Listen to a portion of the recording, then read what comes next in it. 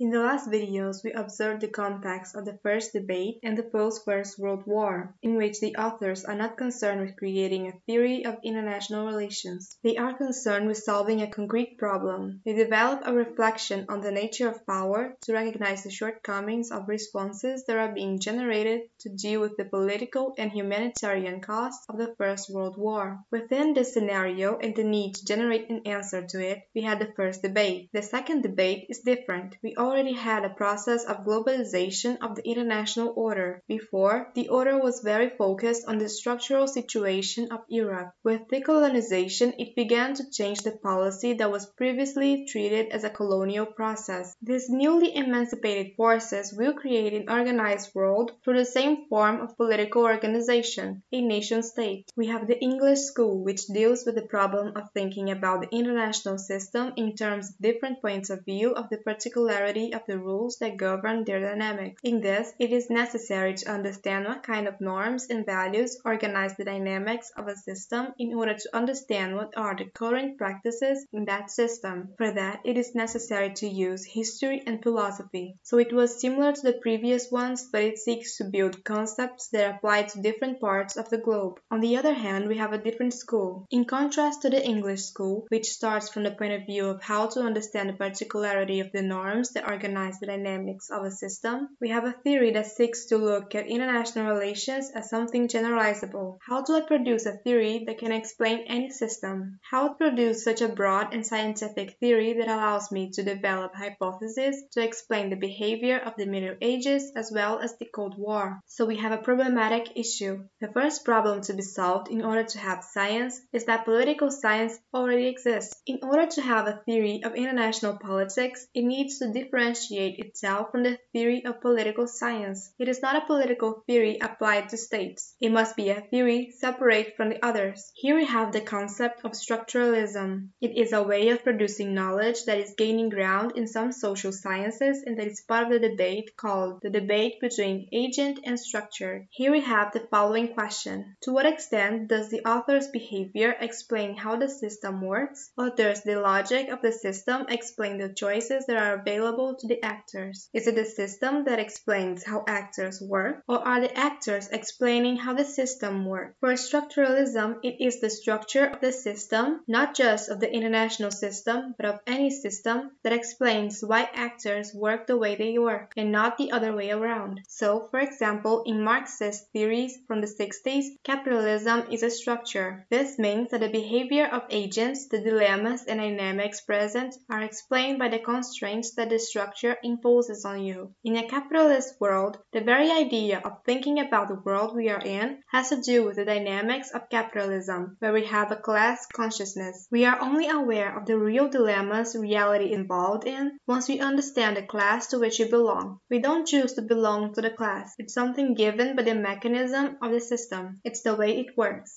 These mechanisms that organize people's lives determine several dimensions of reality, social bonds, all rights, entertainment choices, and more. Structure determines a large part of the choices we make, regardless of our subjective freedom. We only have autonomy up to a point. These conditions are reality. To understand society, it is necessary to understand social structures. Social structures limit the choices that are at our disposal. The choices that are at our disposal are different from the choices available to someone else in another social class, for example. Structuralism is important because it gives the idea of how to produce knowledge. Knowledge is made when we understand the cogs in the system. His objective is to show what kind of constraint the gears of the system impose on the units that operate in that system. The purpose is not to describe the units that work in the system, but to describe the gears. For example, the theory of gravity. If we describe all objects that are subject to the law of gravity, we would not have a law of gravity. The important thing is to understand the properties of the law and how they apply to the different conditions of this reality. This concept is fundamental to international politics. In order to have a theory of international politics, we must have the principle that separates the international as a domain from everything that political science studies. The first fundamental concept in structuring your theory is the organization organizing principle. This is where we separate what is national and what is international. For him, the organizing principle of the international system is anarchy. So why is international relations different from political science? Because international relations are governed by the constraints provided by anarchy. In political science studies power within hierarchical spaces. The dynamics of occupation of political science are hierarchical, in which the state distributes and regulates power, serving as the ultimate instance of conflict resolution. International relations are different because the international takes place in a space where this regulator does not exist. When we study the problem of power, we can only be between two types of space. Or we are in a space where we have an organizing principle of hierarchy capable of regulating conflicts between the different actors involved, or we are operating in a space where this regulator does not exist. That is why a theory of politics and a theory of international politics are needed. The objective of knowledge within this domain for Waltz is to understand how the structure that characterizes that domain imposes constraints on the units of that environment. Once we have anarchy, what are the implications for the units? How does anarchy work? Within the state we have different organizations that struggle for power, whether it is within the state bureaucracy itself or within actors that are external to the state. These organizations struggle for power within a state that is hierarchical, in which there may be a division of labor between these units. For example, the Minister of Economy deals with economy, the Minister of Agriculture deals with agriculture.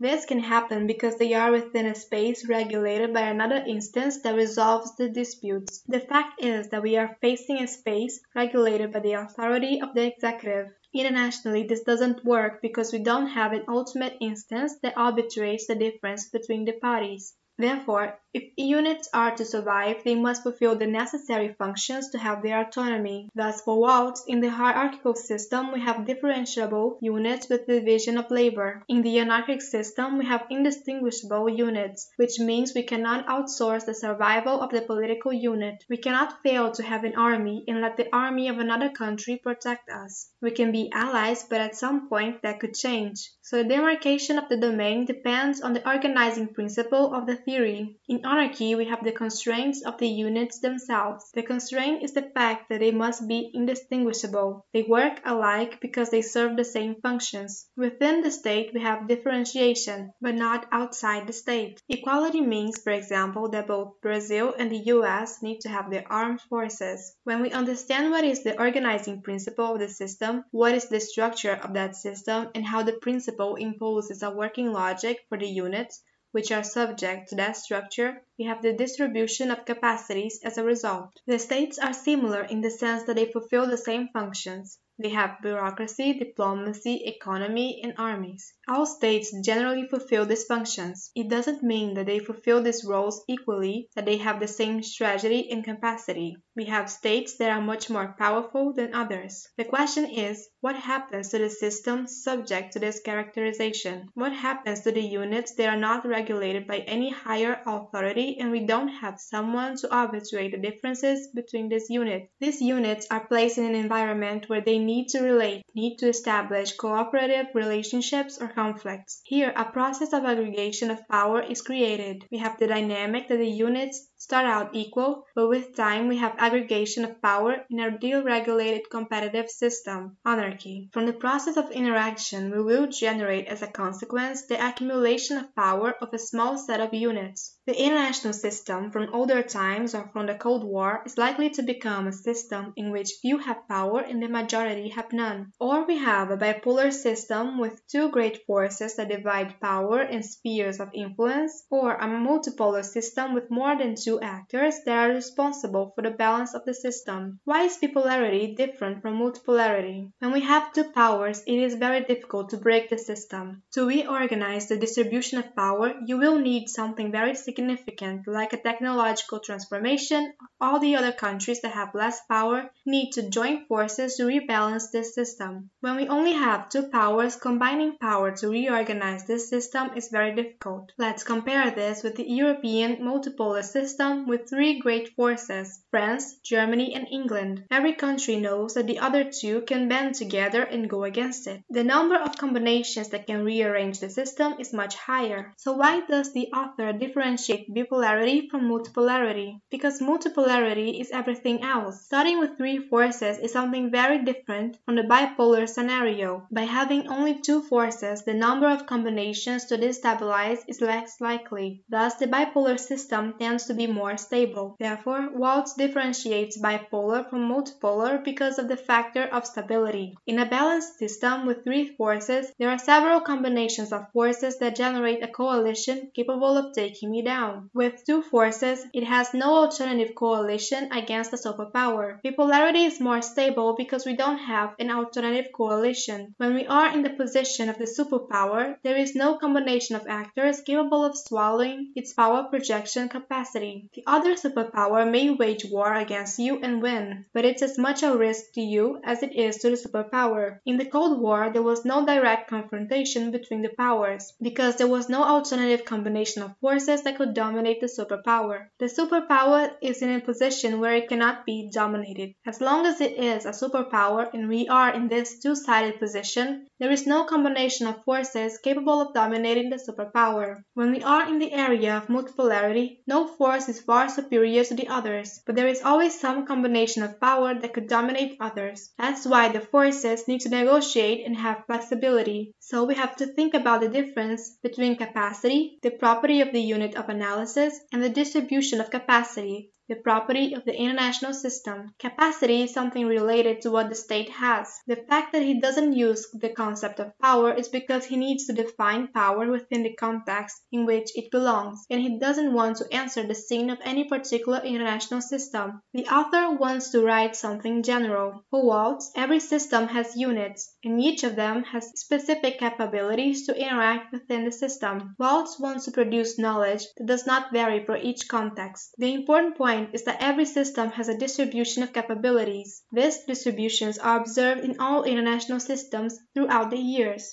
But that poses a problem for his theory. One of the reasons why it was important to have international relations as our science was to be of practical use. So it is interesting to look at Waltz's theory in light of its historical context. The book was written in 1989 in a very particular moment of the Cold War. It is a moment when all the variables that will start to destabilize the functioning of the Cold War begin to be inserted into the system. The 70s are marked by transformations, such as the oil crisis, the process of transnationalization of capital, and projection of power by multinational companies, for example. In that decade, the European Union gained a very decisive degree of strength from a bureaucratic point of view, of capabilities and of influencing the domestic policy of its countries. Mainly as a result of all the economic transformation undergone in the 70s, the end of the decade is the moment when they begin to think about the possibility of the decline of an American hegemony that emerged with the Second World War. Decision makers were concerned with how we deal with the uncertainty produced by these contemporary transformations. So what is this book's lesson? What does it say about the international system. The book believes that it makes no sense to give up bipolarity because of its stability. He writes about the stability of bipolarity in exactly the context where bipolarity is beginning to crack. The first fundamental issue is that he built a knowledge capable of marking the configurations of power, but he did not bother to develop an understanding of a dynamic international system. We don't have a theory of change in Waltz's thinking. Based on this thought, we have the idea that there are two configurations, but it does not say under what circumstances circumstances a bipolarity can become a multipolarity or under what circumstances a multipolarity can become a bipolarity. It does not say how change takes place. It is not capable of dealing with the dynamic reality of the international system. So we have a first fundamental element of transformation. The other important element is the economic dynamics. When realism took over as a hegemonic force,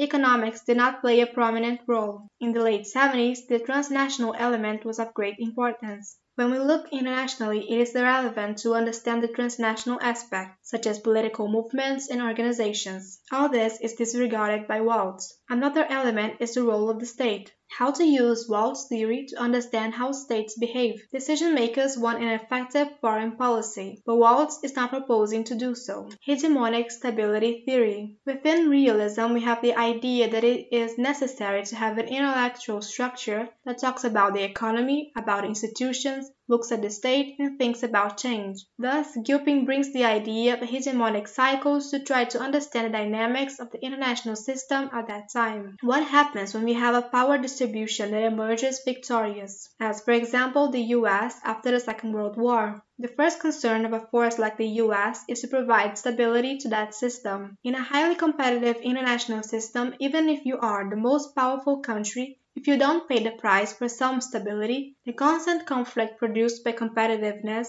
will end up eroding your power. In this way, it is necessary to build a hegemonic order. Who raises the order is the hegemon. It is the one that emerges stronger in the distribution of power. It is he who makes a kind of initial sacrifice. It bears the short-term costs of hegemony, of stabilizing order and building up institutions to reap the long-term benefits of stability. We have to think about a power circle and the role of all the elements that critics said were not considered in Waltz's thinking. Every time this power is projected, when we have a distribution of power that is born, such as the end of the Second World War, we have a choice on the part of the hegemonic force. The hegemonic force has to choose between short-term preponderance and long-term stability. If it doesn't build institutions to provide long-term stability, it runs the risk of attrition along the way. If it sets out to seek to preserve this strength, it will have to pay the price for it, creating institutions and organizing order. Who needs to bear the responsibility for the cost of preserving order is the hegemon. It's not the system. We have a process in which order is not born spontaneously, but as a product of the project of power raised by a hegemonic force. This reflects the vision and interests of this hegemonic force. The institutions that are built benefit other actors, but in a way that reflects the working dynamics of the hegemonic force. Institutions are fundamental because they provide the stability and respond to the prevailing distribution of power in the system. They work because they reflect a power project and only work as long as the system's distribution of power is coherent with the power project erected by the hegemonic force and through these institutions. In this way, these institutions serve a purpose. As soon as the balance of forces changes, the usefulness of these institutions will be questioned. This whole process triggers a dynamic because institutions allow the system to have stability. But who pays the cost of prosperity are the forces that maintain the system. The important thing about this figure is to understand the cyclical character of this process. We have an order in which this dilemma of paying for costs emerges, but within this, other countries take advantage of the situation to grow at the expense of the hegemon. As the process is dynamic, in the end we have a rebalancing of power. The forces that had no strength in the system take advantage of the order that the hegemon created and become relevant forces. Between the second and third movement, we have a set of choices that relate to these forces that emerge in the system. The choice is to what extent it is better for me to take advantage of this order and to what extent I feel confident to create my own order. Once a country becomes a relevant force in the system, continue to take a free ride is convenient to some extent. The rules are designed to benefit the interests of the hegemon. Thus, in the second phase, the country must make a choice between continuing to enjoy the benefits of order at the expense of the hegemon or to redesign the system with a new set of rules. Fourth phase is what happens from that moment on. When it wants to become a new hegemon, it can either fail or go to war with the hegemonic force. So we have a cycle. There is a change in the system. It goes from the establishment of hegemony to the growth of defiance, to the challenge of defiance, and to a new moment marked by a new structure, whether it is marked by war or not. So with Morgenthau, we have the idea that power is not fixed. It depends on the scenario we are analyzing. High politics is fundamentally the realm of war and diplomacy. This is important because we have several dimensions in the social world and international politics must be seen as a separate sphere. The choices that mark international politics are decisions that have consequences for the survival of the political unit itself in the long run. These are the choices of high politics. When we make decisions in the sphere of war and diplomacy, we have choices where the integrity of the survival of the political unit we are part of is at stake. Even with other important choices with economic and cultural consequences, it's no use making a choice that allows you to prosper economically if one of the consequences is allowing your opponents to subjugate you militarily. Waltz. Waltz doesn't raise the question of power. He replaces it with the notion of capability. For him to understand the nature of the structure, we do not need to talk about the particularities of the different dynamics of power. Waltz's idea of refraining from talking about power is no longer seen as acceptable. Therefore, power can no longer consider the idea that economic transformations are not as crucial as military ones. In the world of the 60s and 70s, looking at economic transformations as if they were less relevant does not reflect reality. In this way, way, Gilpin works with the idea of the combination of three elements political, economic, and military. These three variables will combine in different scenarios, and the strategy of one configuration is not suitable for another. That's all. Thanks for watching.